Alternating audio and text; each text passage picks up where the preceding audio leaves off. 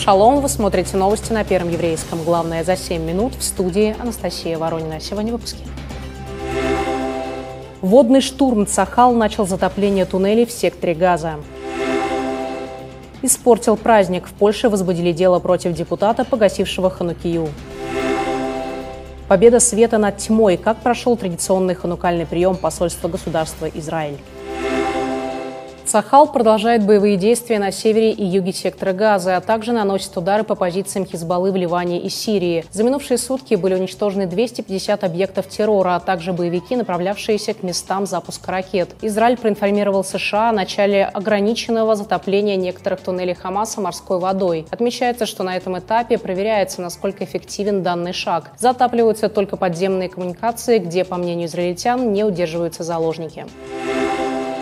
На Манхэттене установили самую большую ханекию в мире. В зажжении праздничных свечей приняла участие губернатор штата Нью-Йорк Кэти Хокол, поддержавшая евреев и Израиль. Церемония на Пятой авеню стала частью не только еврейской жизни, но и неотъемлемым событием американской культуры. На протяжении 50 лет оно транслируется в прямом эфире в ведущих средствах массовой информации. Тем временем ФБР предупредило о возросшей угрозе насилия в Соединенных Штатах в период зимних праздников на фоне обострения палестино-израильского конфликта. Власти страны рекомендовали рекомендовали сохранять бдительность и сообщать о любых угрозах и подозрительной деятельности правоохранительные органы. Польская прокуратура возбудила дело в отношении депутата националистической партии Гжегожа Брауна. Напомню, что накануне на праздновании Хануки в Сейме он взял огнетушитель и погасил свечи, назвав церемонию зажжения Ханукии сатанинской. Спикер парламента удалил депутата из зала. Ранее Браун был отстранен от участия в заседаниях Сейма до конца текущей сессии, а также оштрафован на половину депутатской зарплаты на три месяца и полностью лишен депутатского пособия на шесть месяцев. Президент США Джо Байден заявил, что премьер-министр еврейского государства Беньямин Нетаньяху должен изменить состав своего правительства, чтобы найти долгосрочное решение палестино-израильского конфликта. Он объяснил это тем, что Иерусалим начал стремительно терять поддержку из-за, цитата, «неизбирательных бомбардировок». В то же время Нетаньяху сообщил, что не согласен с позицией Байдена по поводу будущего сектора Газа после окончания боевых действий. Он отметил, что палестинская автономия не будет управлять анклавом, так как ее руководство является сторонником группировки «Хамас». Министр обороны Израиля Йоав Галланд подписал указ о повышении возрастного порога освобождения от резервистской службы для рядовых с 40 до 41 года, для офицеров с 45 до 46 лет, а для резервистов избранного перечня специальности с 50 до 51 года. Инициатива военного ведомства должна быть одобрена Кнессетом. Таким образом, согласно предположению, возраст освобождения от службы в запасе на практике будет увеличен лишь на срок в один год, чтобы не допустить увольнения военнослужащих запаса в разгар военной кампании. Традиционный ханукальный прием посольства государства Израиль объединил гостей дипломатов из разных стран, а также представителей еврейской общины. В знак радости и силы они зажгли пятую свечу. На мероприятии побывала наша съемочная группа. Традиционная Ханука – это веселый праздник света, надежды и радости. Но впервые за многие годы для Израиля это самая грустная Ханука. Посольство государства Израиль в Москве зажгли очередную свечу как символ надежды и возрождения, а также в память о заложниках, находящихся в секторе Газа. Мы действительно хотим немножко изменить зажжение этих свечей и настроение, но с другой стороны э, не забывать тех, кто, во-первых, э, пали, по, э, в общем-то, смертью храбрых, и тех, которые похищены и находятся до сих пор в руках Хамаса. И кроме того, э, для этого вот Ханука это и есть. Это победа малых против многих. То есть, и это то, что мы делаем. И я уверен, что победа будет за нами. А для меня это, конечно, уже немножко тоже и прощальный вечер, так как я скоро заканчиваю свою дипломатическую миссию. Несмотря на то, что все действительно сейчас очень трагично у нас, и мы видим, что происходит э, в Газе и в Израиле, мы все-таки надеемся на то, что все будет, э, будущее у нас будет хорошее, и поэтому несмотря на все, весь этот траур, все-таки есть к чему стремиться. И так же, как наши предки побороли зло, и добро победило, мы надеемся, что добро восторжествует, и правда будет на, на стороне Израиля.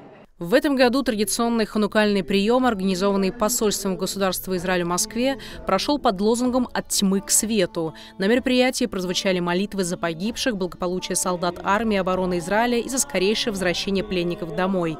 Известные артисты исполнили композиции.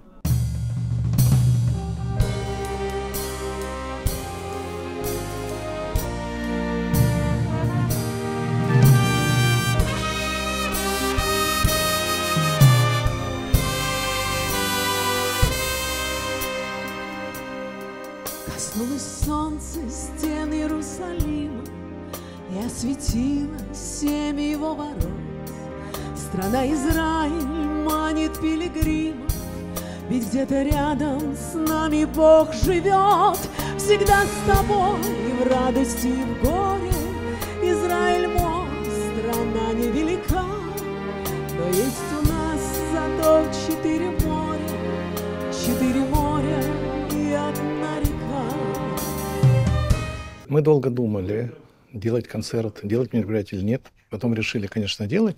Ну и кроме мероприятия, кроме самого концерта, есть выставка, которая выставка израильского фотографа э, Зива Корена, которая с наглядностью показывает то, что произошло. Но лучше, чем на этих фотографиях, показать это нельзя. И весь концерт, весь концерт, как бы он идет э, под ракурсом сегодняшних событий. Да, мы празднуем Хануку, но мы не забываем, что сейчас происходит в Израиле.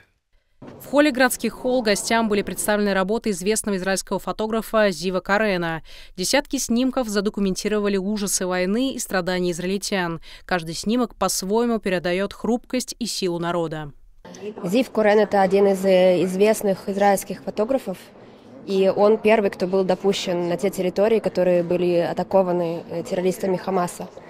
Он запечатлел именно то, что было видно, показано первые часы после того, как все это завершилось, то есть разруха, разрушенные дома, э, игрушки, которые были разбросаны везде. И это очень хорошо отображает именно ту атмосферу, которая там была. Израиль никогда, просто никогда не занимался таким, знаете, политическим маркетингом. Неинтересно, не доходили руки и так далее. За годы существования Израиля сложилась абсолютно странная атмосфера по отношению к нашей стране, что э, наши враги завоевали площадку, которую, на которую мы даже не хотели идти. И это очень плохо. И вот сегодня, наконец, кому-то пришло в голову сказать, ну, послушайте, ну, давайте людям дока попытаемся доказать, что мы тоже страдаем, и что у нас тоже дети, и так далее. И вот э, эта выставка э, которая должна была быть, э, не знаю, по всей Москве на самом деле, да? Это такое маленькое начало. Израильский дипломат, поэт и автор песен Владимир Шкляр посвятил песню погибшей 12-летней девочке. На ханукальном приеме ее исполнила юная талантливая певица Анита Юсфин. Но я верила в чудеса, их так мало на белом свете. Они где-то живут в небесах, а во что еще верят дети? Но ей было тринадцать лет. И ее обожали подружки. И у Ноя был свой секрет. Книга, спрятанная под подушкой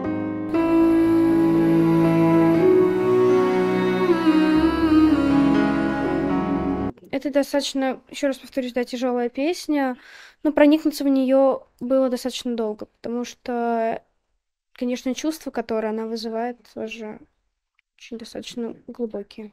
Когда Анита ее прослушала, э, другая девочка пела, она плакала, было такое. Но Анита собралась, она прочувствовала эту песню, у нас все получилось.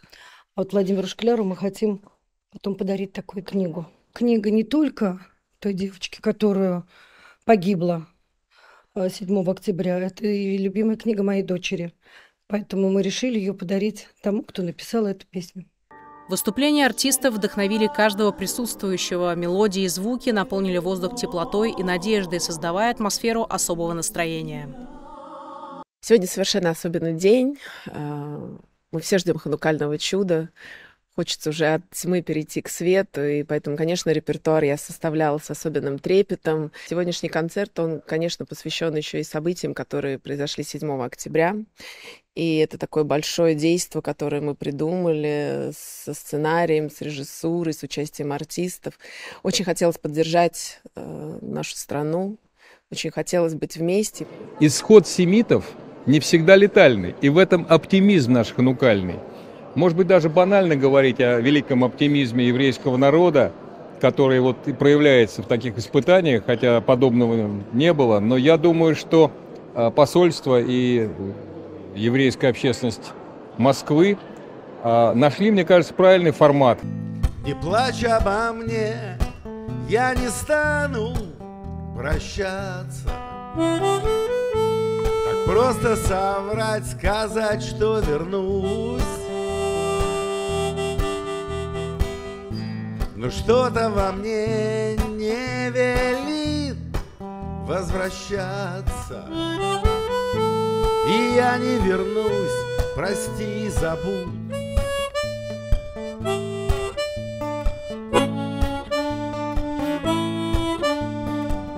Главное, что сохранить память на всю оставшуюся жизнь.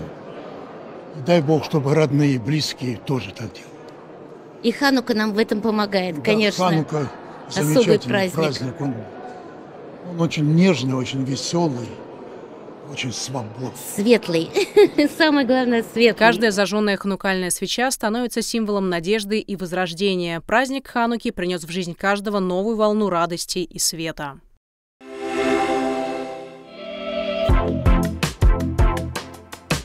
Мы присутствуем во всех популярных социальных сетях. Инстаграме, ВКонтакте, Фейсбук. На наших страницах доступны обзор важнейших новостей еврейского мира и наши передачи. У нас есть два телеграм-канала. Вы можете следить за новостями еврейских общин по всему миру в сообществе «Первый еврейский». А канал «Стмегги. Горские евреи» собирает всю информацию касательно жизни Джуро. Мы всегда рады обратной связи. Подписывайтесь на наши каналы в Телеграм, следите за обновлениями в соцсетях, оставляйте комментарии.